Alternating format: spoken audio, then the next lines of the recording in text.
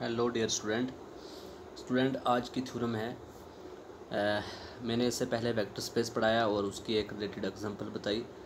अब उसके बाद नेक्स्ट स्टेप में आती है थ्योरम जिसमें कह रहा है वो prove that every field is a vector space over itself इसका क्या मतलब है कि every field is a vector space over itself इसका मतलब ये है जैसे कि हमने वेक्टर स्पेस में मैंने आपको बताया था वेक्टर स्पेस की डेफिनेशन में कि अगर कोई हम फ़ील्ड लेते हैं एफ़ कोई फ़ील्ड एफ़ लेते हैं, उसके ऊपर कोई सेट लेते हैं वी और बताते हैं कि ये सेट क्या है वेक्टर स्पेस है किस पर, उस फ़ील्ड एफ़ पे।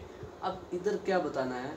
इधर ये है कि हर every field is a vector space over itself का मतलब ये है कि इधर वो जो कोई वेक्टर हम वी ले रहे हैं ना, इधर वो वेक्टर एफ़ होगा। मतलब एफ़ पर एफ़ ही वेक्टर स्पेस है। मतलब एक फ़ील्ड पे फ़ील्ड एफ़ के ऊपर, वो फ़ील्ड एफ़ खुद क्या बनाएगा? वेक्टर स्पेस भी बनाएगा। तो ये हम प्रूफ करते हैं कि कैसे बनाता है वेक्टर स्पेस के ऊपर फ़ील्ड और फ़ील्ड कैसे वेक्टर स्पेस बनाता है। मान लेते हैं let F plus is a field ठीक है स्टूडेंट इसका मतलब ये हुआ कि एफ़ जो है जो फ़ील्ड जो है वो दो आ, आ, दो बाइनरी ऑपरेशन पे मतलब प्लस प्लस बाइनरी ऑपरेशन पे और मल्टीप्लिकेशन ऑपरेशन पे वो क्या है एक फ़ील्ड है। भाई एडिशन पे और मल्टीप्लिकेशन पे भी फ़ील्ड की डेफिनेशन पता ना आपको?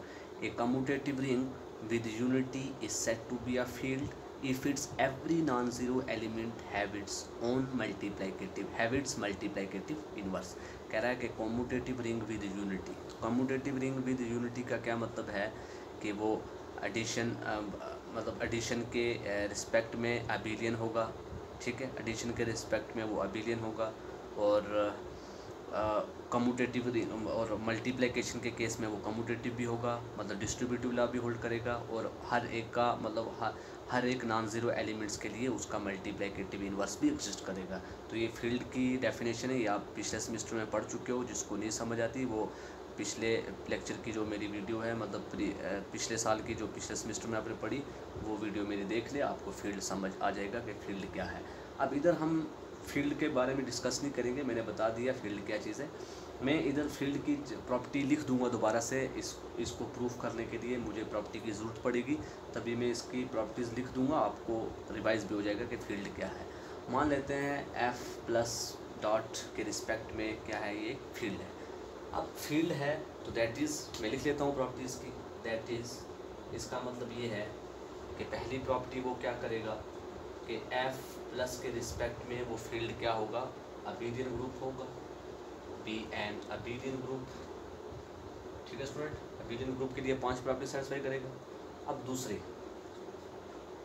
एफ़ डॉट के रिस्पेक्ट में क्या होगा? सेमी सेमी ग्रुप होगा। सेमी ग्रुप की जगह पर सेमी अबीलियन ग्रुप लिख, ताकि हमें एक प्रॉपर्टी कम लिखनी पड़ेगी। क्यों? क्योंकि सेमी अबीलियन क्यों होगा? भाई सेमी अबिलियन का मतलब ये है सेमी ग्रुप का मतलब होता है जिसमें दो प्रॉपर्टी सेटिस्फाई करती हैं। आपको पढ़ाया था मैंने सेमी ग्रुप के एक कम्यूटेटिव सॉरी एक एसोसिएटिव प्रॉपर्टी मल्टीप्लिकेशन के केस में एग्जिस्ट करती है और एक वो आ, आ, क्या होता है सॉरी क्लोजर प्रॉपर्टी सेटिस्फाई करती है। एक क्लोजर प्रॉपर्टी एक एसोसिएटिव प्रॉपर्टी लेकिन अबिलियन में इसलिए लिख रहा हूँ क्योंकि एक और प्रॉपर्टी कम हो जाएगी कि मल्टीप्लिकेशन के केस में कम्यूटेटिव प्रॉपर्टी भी सेटिस्फाई करेगी।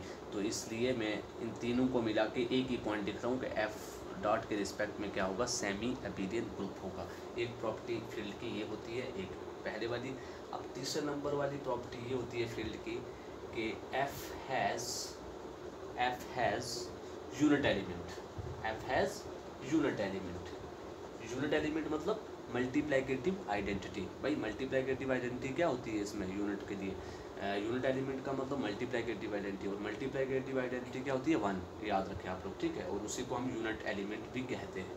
अब फोर्थ प्रॉपर्टी इसकी होती है कि एवरी नॉन ज़ीरो एलिमेंट जो अभी मैंने आपको डेफिनेशन बताया every non zero element every non zero element of F has its multiplicative inverse कि हर एक नॉन ज़ीरो एलिमेंट एफ़ का, उसका क्या होता है? मल्टीप्लाइकेटिव इनवर्स होता है एफ़ के अंदर इन एफ़ ठीक है स्टूडेंट अब फिफ्थ प्रॉपर्टी होती है डिस्ट्रीब्यूटिव वाली कि alpha into beta plus gamma जो होता है, वो होता है alpha into beta plus alpha into gamma for all alpha beta gamma belongs to F ये हो गया लेफ़्ट डिस्ट्रीब्यूशन ला और इसी से हम राइट डिस्ट्रीब्यूशन ला भी लिख सकते हैं। मतलब alpha into beta plus gamma लिखो या beta plus gamma into alpha लिखो, एक ही, एक रिज़ल्ट आएगा ठीक है स्टूडेंट तो ये होगी, इन्हें हम फ़ील्ड की अलेवन प्रॉपर्टीज़ होती हैं टोटल ग्यारह प्रॉपर्टीज़ अब टोटल ग्यारह होगी ये इसमें अबिलियन ग्रुप का मतलब पाँच प्रॉपर्टी ये होगी। सेमी अबिलियन ग्रुप का मतलब तीन प्रॉपर्टी होगी, पाँच और तीन आठ आठ और एक, दो, तीन प्रॉपर्टी है तो आठ और तीन ग्यारह प्रॉपर्टी टोटल होगी और उन सारों प्रॉपर्टी को मैंने इस तरीके से लिख लिया। आपको इसके प्रूफ प्रूफ में करने के लिए प्रूफ करने के लिए आपको ये प्रॉपर्टी लिखनी पड़ेगी कि अगर एफ़ प्लस के रिस्पेक्ट में और मल्टीप्लिकेशन के रिस्पेक्ट में फ़ील्ड है तो उस केस में फ़ील्ड की ये प्रॉपर्टी वो सेटिस्फाई करेगा। ठीक है स्टूडेंट अब हमें ये बताना है we have to show that कि F is a vector space over F कि एफ़ वेक्टर स्पेस है एफ़ के अंदर ही। मतलब एफ़ खुद एक वेक्टर स्पेस बना रहा है एफ़ के ऊपर। तो अब देखिए, इसका प्रूफ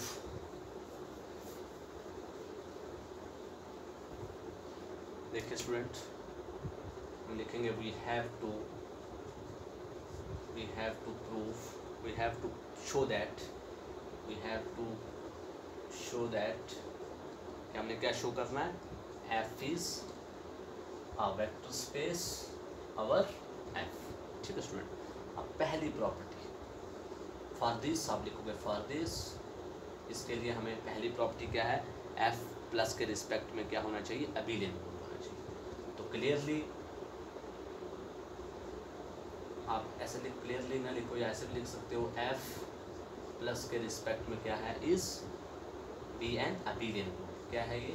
बी एन अबीलियन भाई पहली प्रॉपर्टी वेक्टर स्पेस की यही कहती है ना, मैंने वेक्टर स्पेस आपको पढ़ाया है तो आप वेक्टर स्पेस की डेफिनेशन देखें और क्या मैंने बताया था उसमें, पहली property F plus be an abelian group तो ये क्लियरली से clearly by the definition of field से क्लियर हो गया है कि अगर F plus be an abelian group है तो हम लिख सकते हैं कि from statement first from statement first से हमें पता लग गया कि एफ़ प्लस जो है वो अबीलियन ग्रुप होगा।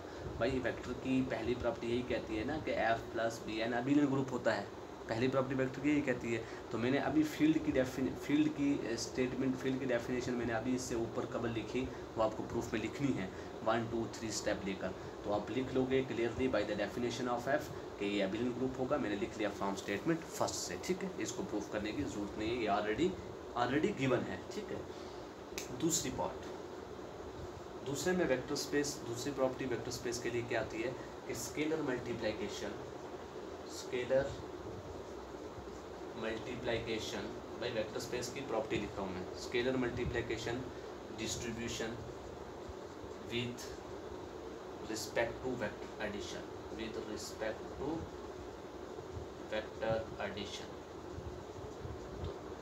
addition के केस में वो क्या है? Multiplication distribution with respect to addition मतलब let alpha belongs to F मान लेते हैं अल्फ़ा एफ़ में है और एक्स वाई भी क्या है? एफ़ में. भाई, देखो ना, हमने फ़ील्ड पे ही मतलब हमने बताना है कि फ़ील्ड पे फ़ील्ड खुद वेक्टर स्पेस बना रहा है. इट मीन्स इधर वेक्टर इधर जो सेट वेक्टर लेते हैं, हम सेट वी लेते हैं ना, इधर सेट वी भी एफ़ है और फ़ील्ड खुद एफ़ है. इट मीन्स अल्फ़ा भी एफ़ के अंदर और एक्स वाई भी एफ़ के अंदर होगा।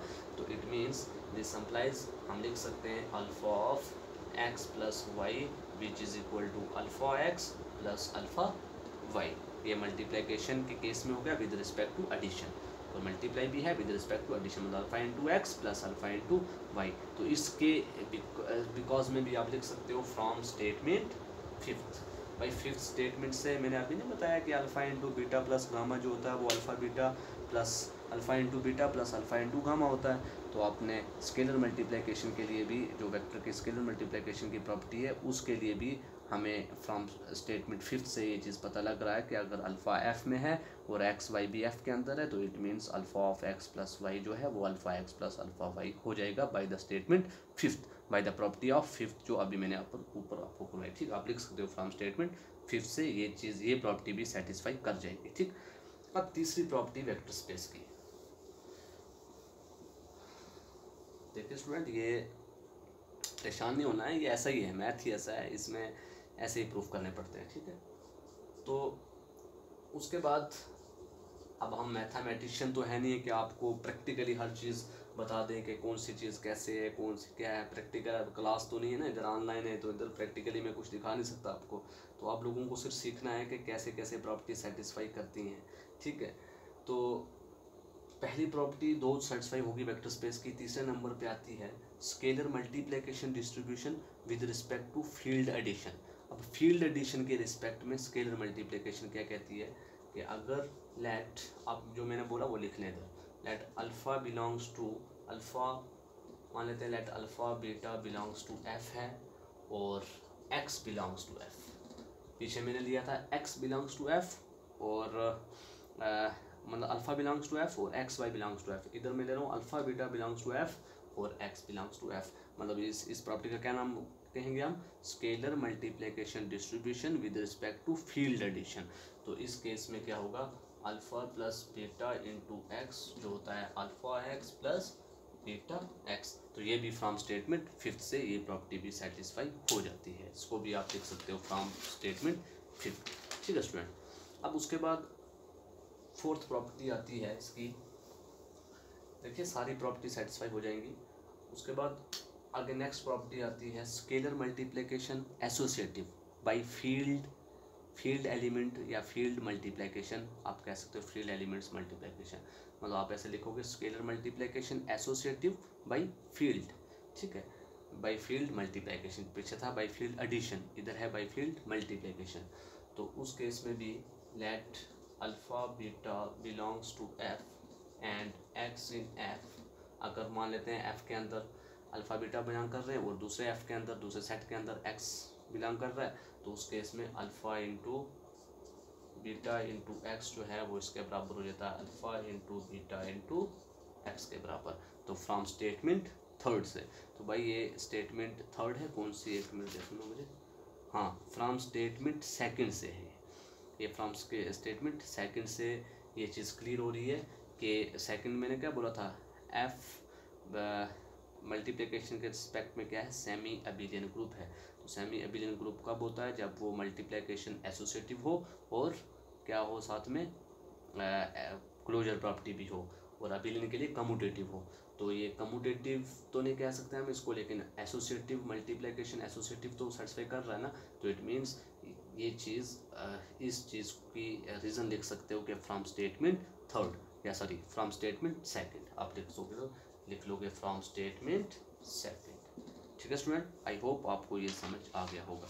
अब उसके बाद लास्ट प्रॉपर्टी बचती है वेक्टर स्पेस की कि फ़ील्ड हैज़ यूनिट एलिमेंट तो फ़ील्ड का क्या होना चाहिए? यूनिट एलिमेंट होना चाहिए। ये property field has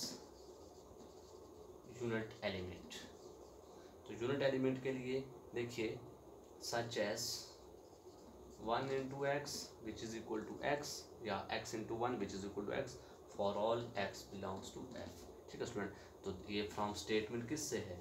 ये फ्रॉम स्टेटमेंट थर्ड से हमें पता लग रहा है कि एफ़ जो है, वो क्या है? मल्टीप्लाइकेटिव सॉरी एफ़ जो है, वो थर्ड स्टेटमेंट मैंने क्या बोली थी? एफ़ हैज़ यूनिट एलिमेंट तो थर्ड स्टेटमेंट से हमें पता लग रहा है कि एफ़ हैज़ यूनिट एलिमेंट मतलब F has a unit element का मतलब ये है कि one into x equal to x मतलब one is the unit element of F तो फ्रॉम स्टेटमेंट थर्ड से ये प्रॉपर्टी सेटिस्फाई कर रहा है। तो हम लिख सकते हैं hence every field makes vector space over itself इसके बाद देखो आप क्या लिखोगे? Hence every field makes vector space over itself हर एक फ़ील्ड जो है वो, खुद उसी फ़ील्ड मतलब हर एक फ़ील्ड अपने आप पर क्या है वेक्टर स्पेस भी बनाता है। ठीक है स्टूडेंट आई होप आपको समझ आ गया होगा कि किस तरीके से वेक्टर स्पेस हर एक फ़ील्ड, हर एक फ़ील्ड पे वेक्टर स्पेस मतलब कोई भी फ़ील्ड है अगर तो वो खुद एक मतलब वेक्टर स्पेस भी मतलब वो वेक्टर स्पेस भी बनाती है, ठीक है स्टूडेंट?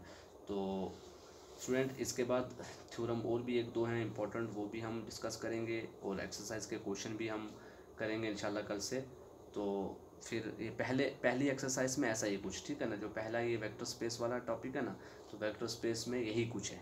बस सिर्फ़ वेक्टर स्पेस की डेफिनेशन समझो, वेक्टर स्पेस की प्रॉपर्टी समझो, कि क्या क्या प्रूफ करना हमें। बस वही चीज़ें दिखा दो उधर, और कुछ नहीं करना आपने। बस जो जो प्रॉपर्टी वेक्टर स्पेस की हैं, उसी प्रॉपर्टी को शो कर दो आप तो आपको हर एक क्वेश्चन प्रूफ हो जाएगा। जब हम क्वेश्चन करेंगे, आपको समझ आ जाएगी कि किस तरीके से हम लोग प्रूफ करते हैं। ठीक है स्टूडेंट तो okay thank you I hope आपको समझ आया होगा। जिसको नहीं समझ आता, आप लोग मुझे पर्सनली कांटेक्ट कर सकते हैं। मैंने आपको बार बार बोलता हूँ जिस जिस स्टूडेंट को जो जो नहीं समझ आता, आप लोग पर्सनली मेरे नंबर पे मैसेज कर सकते हो, मुझसे पूछ सकते हो कॉल भी कर सकते हो डोंट वरी ठीक है स्टूडेंट ओके थैंक यू